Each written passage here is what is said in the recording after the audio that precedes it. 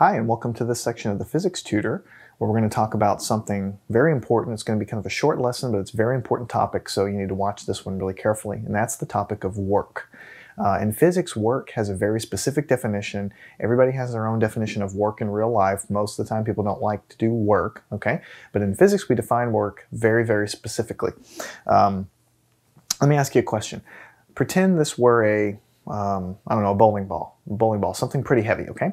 And I were to hold that bowling ball in my hand for five minutes, 10 minutes, three hours, 100 hours, three weeks, let's say. Let's say I were to hold that bowling ball very steady for a year, okay, in my hand. I think most of us would all agree that we're doing work, right? Because it takes some effort to hold that ball up, okay? Turns out in physics, you're not doing any work when you do that, and I will explain to you exactly why that's the case. But in order to understand that, we need to talk about the definition of the term work. And that's what we're going to do right now. Let's go ahead and define the, the term work in terms of uh, physics, and then I think you'll understand why. What we're going to talk about in this section is the concept of work. So that's why I'm going to write that right there. Very simply, the, the, uh, the work done on an object, okay, is equal to the force applied to the object times the distance traveled by the object, where um, F and D are in the same direction. Okay, what do I mean by that? I'm going to just draw a quick uh, block here. Okay, so there's some block I'm trying to move. I'm going to do work on this block, right? So let's say I apply some force to the block. So I'm going to apply some force. That's the force I'm talking about here. And then, you know, eventually that block's going to move because I'm pushing on it after all. And the block is going to move some distance, okay, over to the right. Okay, so I'm moving, I'm pushing on this block with some force. Okay, the, the block accelerates, okay, and moves because of that, and it goes through some distance, and the entire way um, the entire time this block is moving from point to point, I'm still pushing on it with that force. So as the block moves, I'm still pushing on it as it moves, okay? And it moves through some distance d, so when you multiply force times distance, you get the concept of work.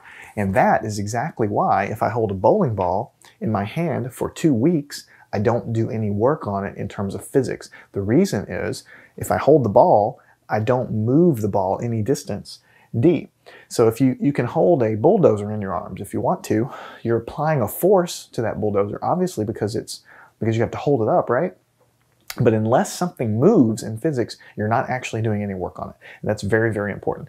The other really important thing to mention about this is that the force that you use in this equation is the force in the direction of the motion that you uh, that you travel. Okay, so let me give you an example of of when the situation wouldn't be quite so simple as this and explain to you what I mean when I say it has to be the force, the component of the force in the direction of motion.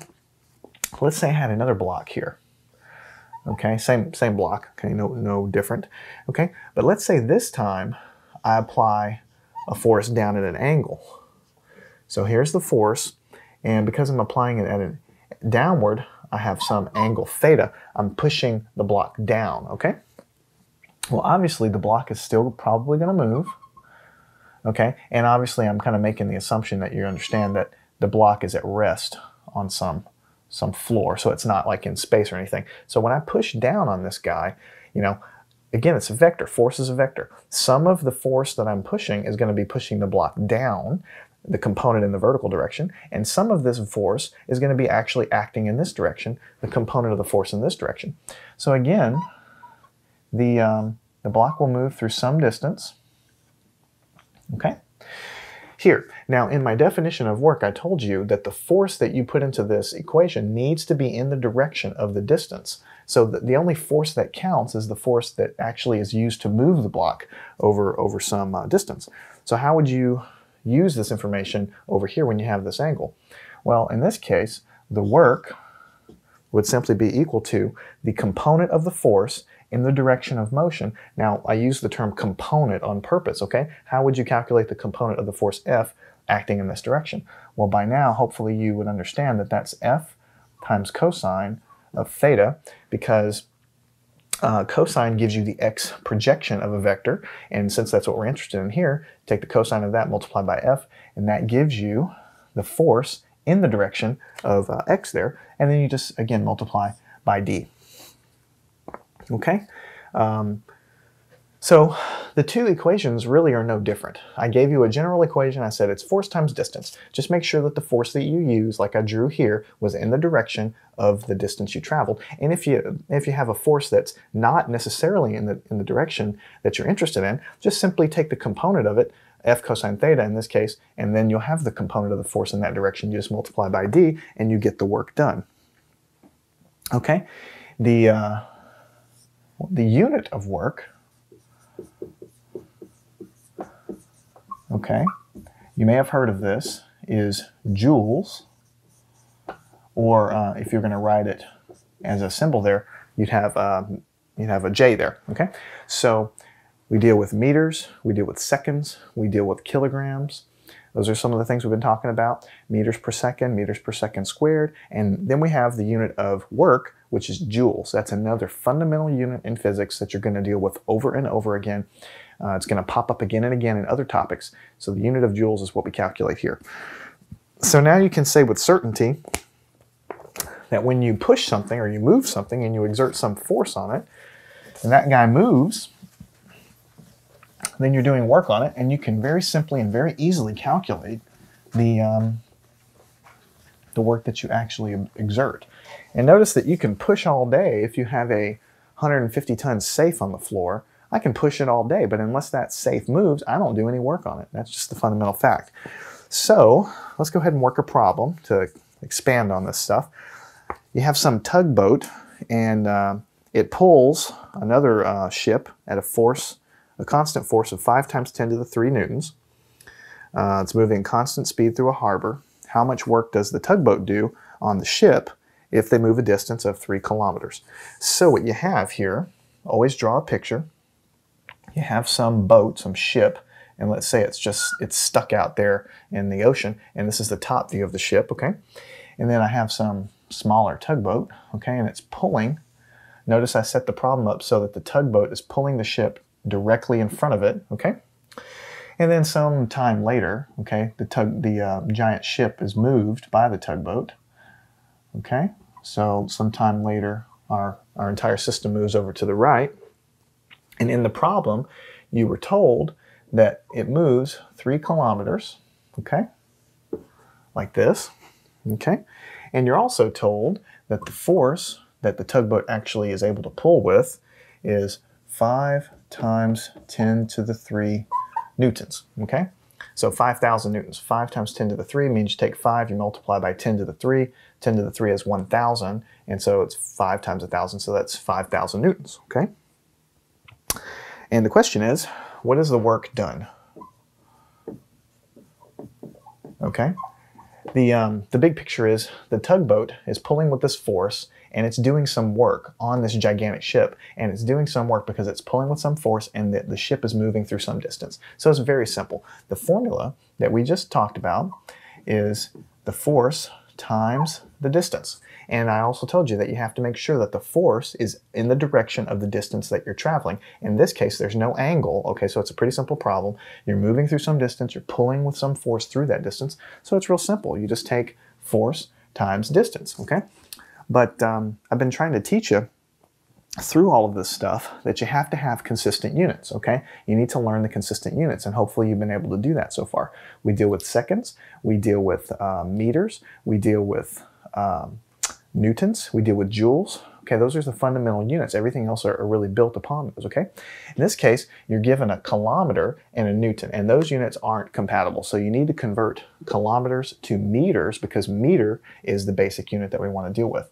So in case you can't do that in your head, if you were going to actually do this by writing it down, you'd have three kilometers. You have to put some conversion factor. So one kilometer is 1,000 meters. I put the kilometers on the bottom because I want it to cancel. I'm left with meters.